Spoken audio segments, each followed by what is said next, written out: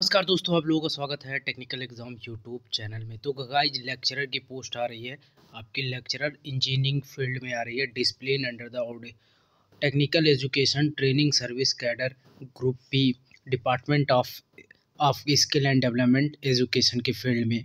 और देख सकते हो ये वैकेंसीज बम्पर है छब्बीस चार दो हज़ार तेईस से लेके छब्बीस पाँच दो हज़ार तेईस तक के फॉर्म फिल किया जाएगा और तेरह डिपार्टमेंट में है, यानी तेरह इंजीनियरिंग ब्रांच में है आपके civil electrical mechanical electronics and communication और भी सारी ब्रांच है। तो उस पर हम डिस्कस करेंगे कितनी क्या वैकेंसीज है सिलेक्शन प्रोसेस क्या है और ये उड़ीसा डिपार्टमेंट में है पब्लिक सर्विस कमीशन में। बहुत अच्छी अपॉर्चुनिटी है गाइज़ और कुछ वैकेंसीज तो देख सकते हो, बाकी वीडियो देखिए ये सिविल इंजीनियरिंग की बात किया जाए सिविल इंजीनियरिंग की पोस्ट किया जाए forty five forty five vacancies है तो यहाँ देख सकते हो फोर्टी फाइव और जो सिलेक्शन प्रोसेस क्या होगा, इन सारी चीज़ों को वीडियो को अंत तक देखिए, तभी समझ में आएगा। और टेलीग्राम ग्रुप कर लीजिए भाई टेलीग्राम ग्रुप और technical underscore exam one पे जाके फॉलो कर लीजिए। S S C JE R R B JE state A J UP P C L A J P S exam किसी भी ए जे एग्ज़ाम का प्रिपरेशन करना चाहते हो तो आपके लिए एक बहुत सुनहरा मौका है। कम पैसे में बहुत अच्छा प्रिपरेशन जी हाँ तो पीडब्ल्यू ने एक नया बैच लॉन्च किया जिस बैच का नाम है Ashoka C batch Ashoka C batch का खासियत यह है कि इंडिया के टॉप एजुकेटर आपको पढ़ाते मिलेंगे। इंडिया के टॉप एजुकेटर जो खुद उस एग्ज़ाम में क्वालिफाइड हो, एक बेहतरीन तरीके से पढ़ाएँगे आपको, चाहे टेक्निकल हो या नॉन टेक्निकल हो। ये चार ब्रांचों के लिए है। चार ब्रांचों की बात किया जाए mechanical civil electronics and communication and electrical और इसकी प्राइस की बात किया जाए फ़ीस की बात किया जाए, अभी दो हज़ार नौ सौ निन्यानवे रुपया। बट अट्ठारह अप्रैल से पहले खरीदते हो तो एक हज़ार नौ सौ निन्यानवे रुपया का मिलेगा। बट बट रुको जरा और मैं पैसा कम करा देता हूँ। तो मेरा कोड यूज़ कर लेते हो डीपी के टू फिफ्टी तो दो सौ पचास रुपया आपको और डिस्काउंट मिल जाएगा। तो इंडिया का बेस्ट टीचर आपको पढ़ाएँगे, चाहे टेक्निकल पढ़ लो या नॉन टेक्निकल पढ़ लो, कोई भी ब्रांच से पढ़ लो यार। तो ये सुनहरा मौका आपको खोना नहीं है, करना क्या है? डिस्क्रिप्शन में लिंक है, वहाँ से जाइए और इस कोर्स को बाय कीजिए, अपने ए जे एग्ज़ाम को क्रैक कीजिए, बहुत इजीली क्रैक कीजिए। बेस्ट से बेस्ट हर सब्जेक्ट को एक कॉन्सेप्ट से लेकर एक हाई कॉन्सेप्ट लेवल तक पढ़ाया जाएगा। जाइए, आपको फटाफट इसको खरीदिए। क्या देख रहे हो? खरीदिए।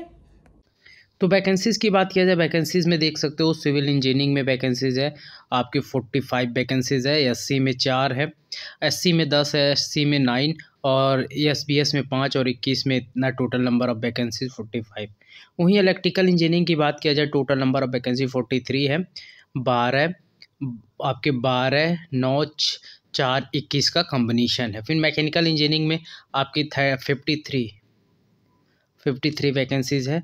आपकी sixteen ten five twenty two वहीं इलेक्ट्रॉनिक्स एंड कम्युनिकेशन में ट्वेंटी फोर वैकेंसीज़ है। ये देख सकते हो। कंप्यूटर साइंस में नौ वैकेंसीज़ है। और उसके बाद मैथमेटिक्स में एलेवन वैकेंसी फिज़िक्स में थर्टीन केमिस्ट्री में एलेवन उसके बाद बात किया जाए ऑटोमोबाइल इंजीनियरिंग में थ्री केमिकल इंजीनियरिंग में टू मेट्रोलॉजिकल में पाँच। माइनिंग इंजीनियरिंग में थ्री जियोलॉजी में टोटल नंबर ऑफ़ वैकेंसी दो सौ चौबीस वैकेंसीज़ है। ओके तो ये वैकेंसीज़ है कैंडिडेट ये सारी चीज़ें दे रखी है। Number of vacancy fill on the basic requirement subject change में बाय गवर्नमेंट तो ये चीज़ है, आपकी एज लिमिट की बात किया जाए एज लिमिट में आप देख सकते हो, जो आपकी age first day of August 2022 से लेकर सेकेंड अगस्त उन्नीस सौ चौरासी तक थर्टी एट ईयर्स ठीक है? आपको रिलैक्सेशन भी मिल जाएगा।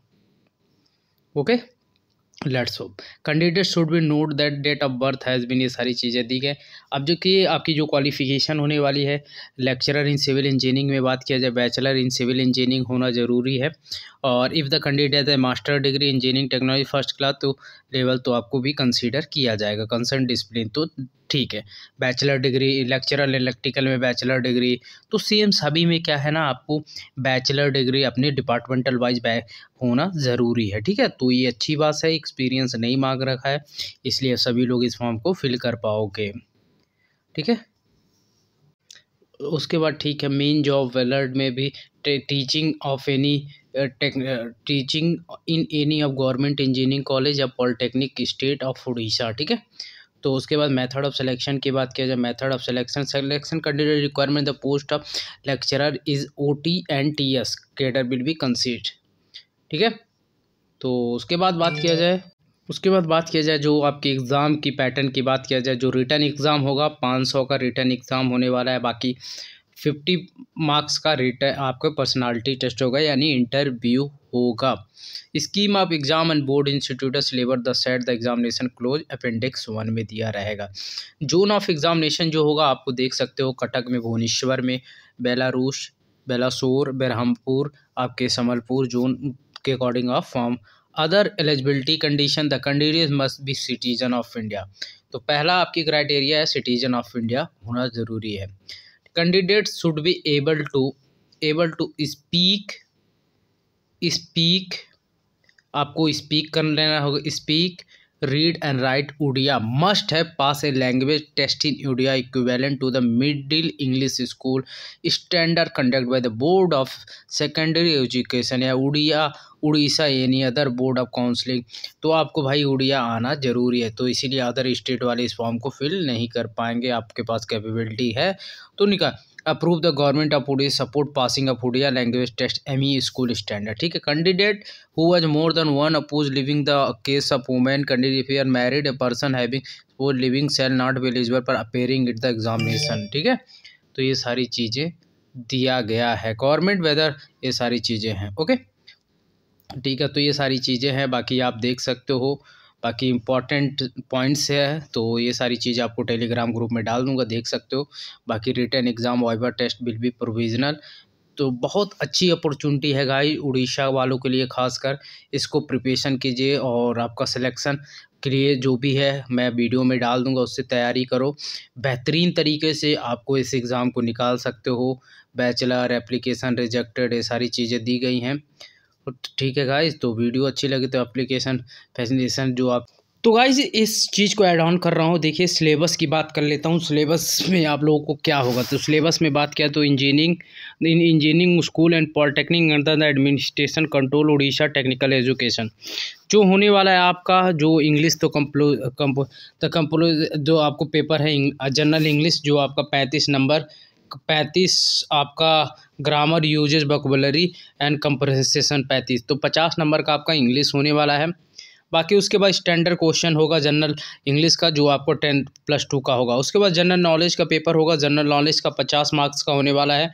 देश दुनिया का खबर यहाँ पे भी आपको देना पड़ेगा। उसके बाद आगे बढ़ते जाइए उसके बाद आपका paper paper two subject paper two की बात किया जाए। और पेपर टू आपके सामने आने वाला है। जैसे कि पेपर टू की बात किया जाए पेपर टू में आपका सब्जेक्ट वन एंड टू होगा। जैसे इसमें पूरा गायब दे दिया। जैसे आपके पेपर वन में सिविल इंजीनियरिंग का पेपर होगा। सिविल इंजीनियरिंग में पूरा ये पेपर दे रखा है। सिविल इंजीनियरिंग का पेपर ये, ठीक है? बाकी ये सारे ब्रांचों का पेपर है। टेलीग्राम पे मिल जाएगा पीडीएफ ठीक है? टेंशन ना लो सभी लोग। तो ये पूरा मैं बता देता हूँ। पेपर ये है सिविल इंजीनियरिंग का मैकेनिकल इलेक्ट्रिकल सारे ब्रांच का ये पेपर दे रखा है। तो फिज़िक्स वालों के लिए ओके तो ये पेपर है गाइज़ पूरा दे रखा है। ओके, चलो, बाकी यार ये पेपर आप देख सकते हो फटाफट आइए टेलीग्राम ग्रुप में और ज्वाइन कर लीजिए, क्योंकि ये पेपर आपको पीडीएफ वहीं पे मिलेगा अदरवाइज़ कहीं पीडीएफ इंपॉर्टेंट पीडीएफ आपको कहीं मिलने वाला नहीं है।